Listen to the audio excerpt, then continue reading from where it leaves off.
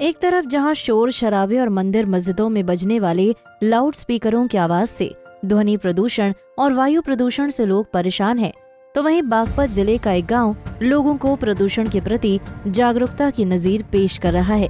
आपको बता दें कि बागपत ज़िले के बामनोली गाँव में पवन पुत्र हनुमान जी का एक ऐतिहासिक मंदिर है जहाँ पर हर वक्त शांत वातावरण का माहौल रहता है क्योंकि इस मंदिर में ध्वनि प्रदूषण और वायु प्रदूषण करना सख्त मना है।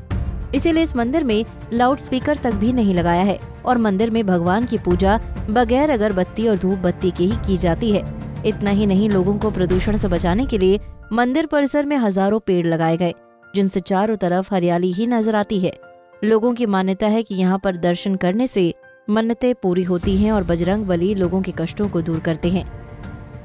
ये हमारे बाबा जी सिद्ध, हनुमान जी के सिद्ध बाबा मंगलेश्वर महाराज जी का बनवाया हुआ मंदिर है। मैं लगभग बारह साल की उम्र से उनसे जुड़ा हुआ हूँ। जहाँ पे खेत है, वो खेतों में रहते थे। और उनके लोग दर्शन करके आत्मिक एक ऐसी शांति लोगों को मिलती थी कि ये गाँव पूरा उनसे जुड़ा हुआ था। ये ज़मीन बंजर टीला पड़ा था। इसमें गठ थे मोटे मोटे यहाँ किसी तरह का कुछ भी पैदा होने वाला नहीं था। तो मंदिर की क्या विशेषता है? अलग हट करके ये मंदिर है थोड़ा। मंदिर की ये विशेषता है कि इसको बनवाने में लोगों की आत्मा जुड़ी हुई थी। उन महाराज जी से साक्षात भगवान के दर्शन किए लोगों ने उनमें और मंदिर में किसी तरह का कोई प्रदूषण कोई लोभ लालच किसी तरह का कुछ भी नहीं है। जो अलग इस सेट के और बहुत मंदिर देखे किसी तरह का चंदा, रसीद, दान, किसी तरह का कुछ कोई डिमांड नहीं है। दरअसल बागपत ज़िले की तहसील बडौत इलाके में कृष्णा नदी के किनारे बसे बामनोली गाँव में। नदी किनारे पर एक टीले के ऊपर ऐतिहासिक श्री हनुमान धाम नाम से एक मंदिर है। इस मंदिर का निर्माण सिद्ध पुरुष महाराज मंगलेश्वर नंद जी महाराज ने सन उन्नीस सौ छियानवे में शुरू कराया था और ग्रामीणों से चंदा इकट्ठा कर 2001 में इसे मंदिर बनवाया था। जिसकी ऊंचाई 101 फीट है और इस मंदिर के आसपास 17 बीघा ज़मीन है, जिसमें चारों तरफ़ हरे भरे पेड़ लगाए गए। आपको बता दें कि इस मंदिर की सबसे बड़ी विशेषता है कि इस मंदिर में वायु प्रदूषण और ध्वनि प्रदूषण करना सख्त मना है। इसीलिए इस मंदिर में लाउड स्पीकर नहीं लगाया है और इस मंदिर में धूप बत्ती अगरबत्ती से भी पूजा करना सख्त मना है। इतना ही नहीं, इस मंदिर में किसी भी तरह के चंदे आदि की मांग भी नहीं की जाती है और किसी भी धर्म, जाति, बिरादरी के लोगों पर मंदिर में आने पर पाबंदी नहीं। पर्यावरण के लिए है जी अनेक औषधीय पौधे ला रखे जी जो ऑक्सीजन बनते हैं जिनसे बहुत ज़्यादा वे भी यहाँ है जी। ये बड़ के पीपल के बाँस के ऐसे पौधे हैं जिनसे ऑक्सीजन एक्स्ट्रा मिले जी। ये पौधे हैं हार श्रृंगार के भी हैं यहाँ। अच्छा लाउड स्पीकर क्यों नहीं बजाया जाता है? लाउड स्पीकर ऐसा है जी जिससे ध्वनि प्रदूषण ही हो है।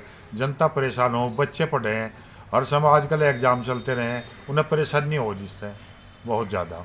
और ग्राम वाले भी कहे भाई सोए नहीं ये बढ़ जाए हमें नींद नहीं आती। तो जो करना है अपने आप कर लो। यहाँ ढोंग नहीं चलता। पूजा करनी आराम से पूजा करो जिसे को करनी हो।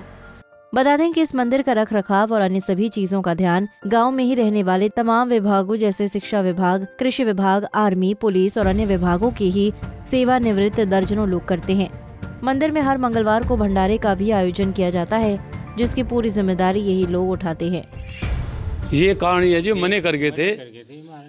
वे मने कर गए थे कि घंटे का इसका कोई महत्व नहीं है भजन महत्व भजन जो है महत्व भजन का है और किसी का नहीं है। ये दो बात बता गए थे जिसको चाहिए धन वो दान करिए जिसको चाहिए मुक्ति वो भजन करिए। अच्छा, मुख्य कारण क्या था? ध्वनि प्रदूषण करने ध्वनि प्रदूषण का भी था सारी ही चीज़ें थी। दिखावा कोई नहीं है ध्वनि प्रदूषण का भी था। हर चीज़ का आसपास इससे नुकसान ही होता है उससे लाभ क्या था? यही मैंने कर गए थे। पहले बिल्कुल कोई ज़रूरत नहीं किसी तरह की। एक तरफ़ जहाँ ध्वनि प्रदूषण और वायु प्रदूषण करने पर इस मंदिर में सख्त पाबंदी है। तो वहीं दूसरी तरफ़ लोगों को साफ़ सुथरा और हरा भरा वातावरण देने के लिए मंदिर परिसर में हज़ारों पेड़ लगाए गए। इस मंदिर के आसपास मंदिर की करीब 17 बीघा ज़मीन है, जिसमें 108 पीपल 108 मौलश्री 108 अशोक 21 वट वृक्ष और औषधियों के पेड़ समेत हज़ारों पेड़ लगाए गए, जिनसे लोगों को अच्छा वातावरण मिलता है। पंजाब केसरी टीवी के लिए बागपत से विवेक कौशिक की रिपोर्ट।